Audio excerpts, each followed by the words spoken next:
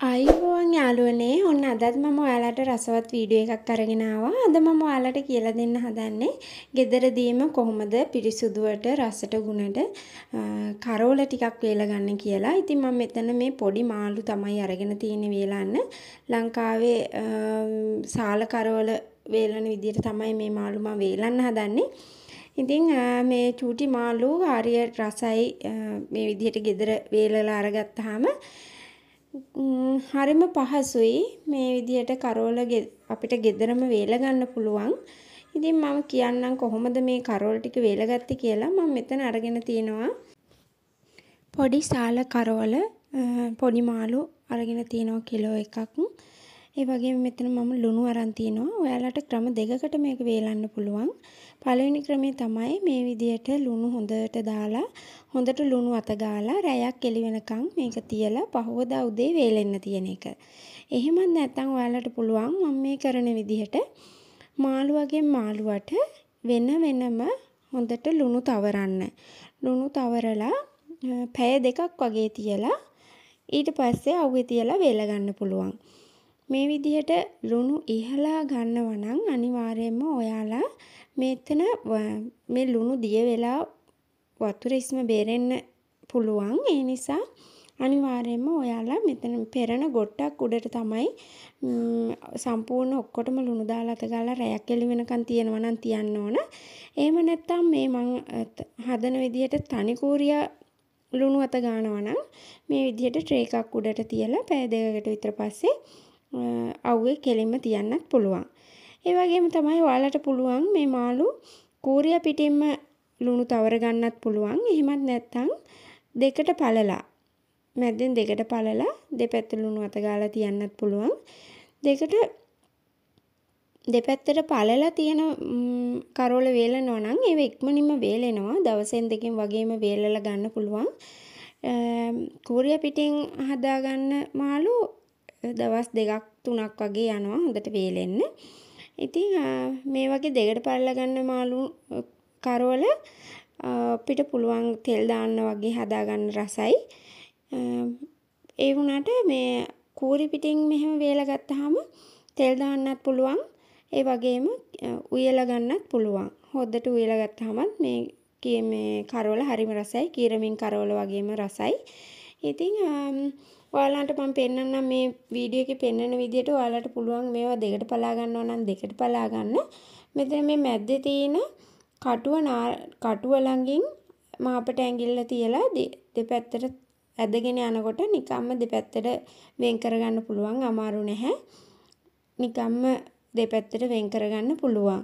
ඉතින් මේ විදිහට ඔයාලා කරෝල ටික සම්පූර්ණයෙන්ම එකින් එකට ලුණු තවර ගන්න ඕනේ. ලුණු තවරලා මම මේක පැය දෙකක් විතර තියනවා හොඳට ලුණු අල්ලන්න. ඊට පස්සේ මේ ටික තුනී කරලා අවුවේ තියලා වේල ගන්නවා.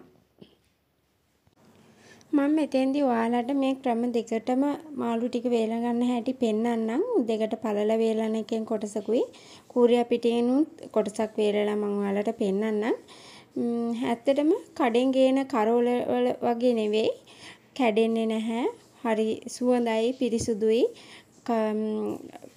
ඇත්තටම කියනවා නම් කුණු ගඳක් වගේ නැති හොඳ පිරිසුදු කරෝල ටිකක් වේල ගන්න පුළුවන් ගෙදර. ඉතින් මහා ලොකු අමාරු වැඩක් නෙවෙයි මේ විදිහට කරෝල ටික වේල ගන්න එක. හරිම ලේසි. ඉතින් ඔයාලත් උත්සාහ කරලා බලන්න මේ විදිහට කරෝල ටික වේල ගන්න ගෙදර. ඉතින් ඊට පස්සේ බලමු අපි වේලෙන්න තිබ්බහම මේක අනිත් එක වැඩි දවසක් යන්නෙත් නැහැ. දවසෙන් දෙකකින් වගේ වේල ගන්න පුළුවන්. දෙපැත්තට පළපුව ඒවා ඉක්මනින්ම වේලෙනවා. ඊට වඩා තව දවසක් වගේ තිබ්බහම මේ අනිත් කුරි ටිකත් ඉක්මනින්ම වේල ගන්න පුළුවන්. ඉතින් මේ තියෙන්නේ දැන් අපි මේ විදිහට මේ දෙකට පළලා ලුණු අත ගාලා පැය දෙකක් විතර තියපු මාළු ටික දැන් පැය දෙකකට විතර පස්සේ මම නැවතත් මෙතන උඩින් ලුණු කුඩු ටිකක් ඉහා ගන්නවා. ඉහලා දැන් මම මේ ටික අරගෙන යනවා වේලෙන්න දාන්න. වේලෙන්න තියන්න මම ගන්න ඉති ඊයන් කොලයක් උඩ තමයි වේලෙන්න තියන්නේ. වීයන් කොලයක් උඩ වේලෙන්න තියෙන එක ලීසි. ඉතින් හදට අවුව වැටෙන තැනකට නැත්තම් බැල්කනි එක හරි කොන්ක්‍රීට් ලෑල්ලක් වගේ තියෙනවා නම් ඒක උඩ හරි තියලා වේල ගන්නවා නම් ඉක්මනින්ම වේල ගන්න පුළුවන්. මොකද කොන්ක්‍රීට් එක හරි බල්කනිය හරි අවුව වැටිලා රත් වෙනකොට වේලෙන වේගය වැඩි වෙනවා. ඉතින් මේ විදිහට මේ දෙකට පළපුව වෙනමයි කූරි පිටින් ඒවා වෙනමයි මම තිබ්බා වේල ගන්න. දැන් මම මේ විදිහට මේක දවස් දෙකක් වේල ගත්තා. දවස් දෙකකට පස්සේ තමයි මම ඔයාලට මේ පෙන්වන්නේ. ඒ කියන්නේ වේලෙන්න තියපු දවසයි ඊට පහුවදා දවසයි. පහුවදා දවස් ඉවර වෙනකොට තමයි මේ தත්ත්වයට වේලිලා තියෙන්නේ. ඉතින් දැන් සෑහෙන දුරට වේලිලා තියෙන්නේ. නමුත් පොඩි අමු ගතියක් තාම තියෙනවා. තාම ටිකක් අතට අල්ලලා බලනකොට තද ගතියක් නැහැ. මදි තද ගතිය. ඉතින් මේ දෙකට පළපු මාළු නම් සෑහෙන දුරටම වේලිලා. ඉතින් අපි බලමු හෙට දවසේ හවස් වෙනකොට කොයි තරම් දුරට මේක වේලෙනවද කියලා. ඉතින් මේක මේ වේලන තත්ත්වය තීරණය වෙන්නේ වැටෙන අවුවත් එක්ක. අවුව හොඳට වැටෙනවා නම් වහින්න නැති දවස් දෙක තුනක් නම් ඉක්මනින්ම වේල ගන්න පුළුවන්. ඉතින් මේ දැන් තුන්වෙනි දවසේ තුන්වෙනි දවස් වෙනකොට මේ දෙකට පළපු මාළු ටික හොඳටම වේලිලා දැන් මේ මේ ඔයාලට පේනවා ගොඩාක් ලුණු ගතියක් නැහැ. හොඳට දැන් දෙපැත්තම වේලිලා. ඉතින් දැන් මේ දෙකට පළපු මාළු වේලිලා ඇති. මම ඊට පහුවදා දවසක් තියෙනවා කූරි පිටින් වේලෙන්න දාපු මාළු ටික. පහුවදා දවසක් තියපු කූරි මාළු ටික තමයි දැන් මම ඔයාලට පෙන්වන්න හදන්නේ.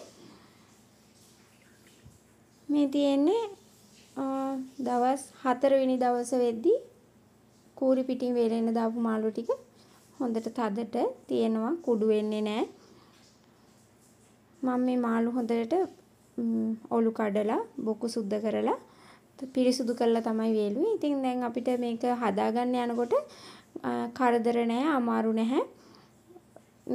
දූවිලි කුණු වැදිලා තිනෝ නම් ඒ ගතිය යන්න විතරක් හොදලා ගත්තාම ඇති.